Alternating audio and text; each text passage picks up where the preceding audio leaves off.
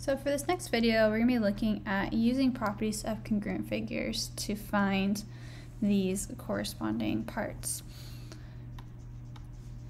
So for number one, I'm given this diagram and I know that DEFG is congruent to SPQR. So again, remember the order of this matters. So that means like for instance, that angle D is congruent to angle S, side DE is congruent to side SP, and so on. So we're going to use that information to find the values of x and y. So looking here, I can start with either x or y, but I notice that my figure with y has my x in there as well. So that means I'm going to have to figure out what x is first. So I see that x is involved with this side QR. So I need to figure out what QR is equal to. What is it congruent to? Well, I see in my congruency statement here that QR is the second two, or the last two letters.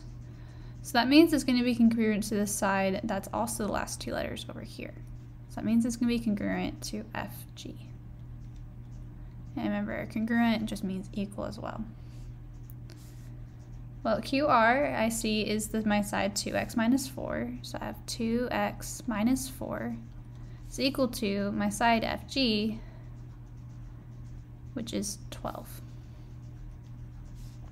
Now I can go ahead and solve for x. So plus 4 plus 4. And then divide by 2.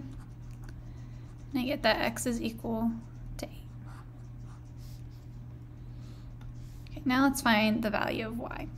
So I see that y is involved in this angle Q here. So I need to figure out what angle Q is congruent to. Well, I see that Q is my third letter in my congruency statement. So that means it's going to be congruent to the third letter here as well. So that means that measure of angle Q is equal to the measure of angle F. Well, Q is 6y plus x, and angle F is 68 degrees. But I already know that the value of x is 8, so I can plug that in. So I have 6y plus 8 is equal to 68. Now I can solve this for y, so I'll subtract 8 from both sides.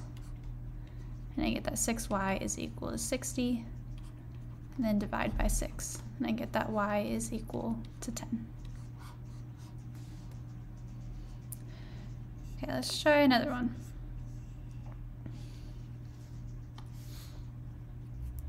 So here it looks like I have the same first figure, D, E, F, G, and now I know it's congruent to Q, M, and P.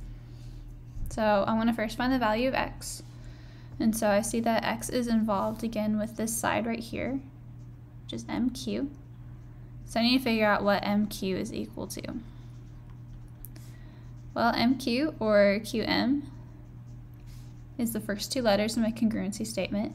So that means it's going to be congruent to the side that is also the first two letters.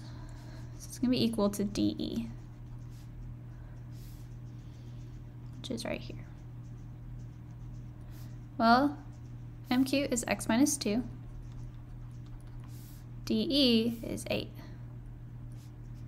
And I can add 2 to both sides. And I get that x is equal to 10. Okay, now let's find the value of y. So y is involved with this angle P here. So I need to figure out which of these angles that angle P is equal to. Well, P is my last letter in my congruency statement. And my last letter on this first shape is G. So that means that angle P is going to be congruent to angle G. Angle P is 3x plus 2y. It's equal to angle G, which is 84. Then I can plug in my value in for x. So I have 3 times 10 plus 2y is equal to 84. And now I can solve it from here. So 3 times 10, that's 30. Subtract 30 from both sides. I get that 2y is equal to 54.